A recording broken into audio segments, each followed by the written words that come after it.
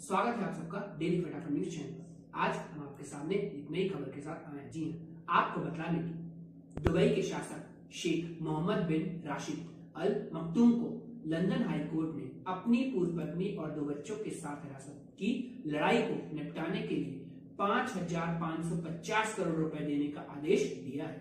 जज ने कहा है कि जॉर्डन के राजा अब्दुल्ला की सौतेली बहन राजकुमारी हया बिन अल हुसैन और दंपत्ति के दो बच्चों को दिए जाने वाले रकम का मुख्य मकसद उनकी आजीवन सुरक्षा में सुनिश्चित करना है। जी हाँ जज ने कहा कि वह सुरक्षा की सिवा कुछ भी नहीं मांग रही है। जज ने शेख को तीन महीने के भीतर हया को उसकी ब्रिटिश हवेली के रखरखाव के लिए 2525 करोड़ रुपए का एक मुश्त पेमेंट करने का ऑर्डर दिया है।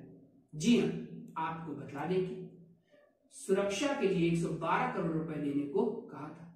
संयुक्त अरब अमीरत के उपराष्ट्रपति और प्रधानमंत्री शेख को 14 साल की जलीला की शिक्षा के लिए 30 करोड़ रुपए और 9 साल के जैद और 96 करोड़ रुपए बकाया राशि प्रदान करने के लिए भी कहा गया था। उन्हें बच्चों के भरण पोषण को व्यस्त होने पर उनकी सुरक्षा के लिए सालाना 112 करोड़ रुपए का भुगतान करने के लिए भी कहा गया था। आपको बतलाने की।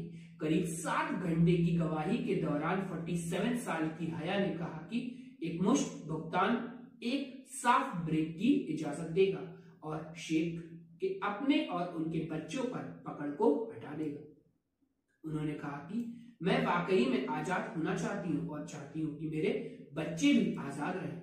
या फाइनेंशियल समझौता एक मामले को लेकर है जब हया अप्रैल 2019 में ब्रिटेन भाग गई थी। ब्रिटेन पहुँचने के बाद, एक महीने बाद हया ने शेख को तलाक देने का कहा था। उन्होंने कहा था कि शेख उन्हें मरवाना चाहते हैं। इसके बाद लंदन की अदालत ने फैसला सुनाते हुए कहा था कि शेख ने हया को डराने धमकाने का काम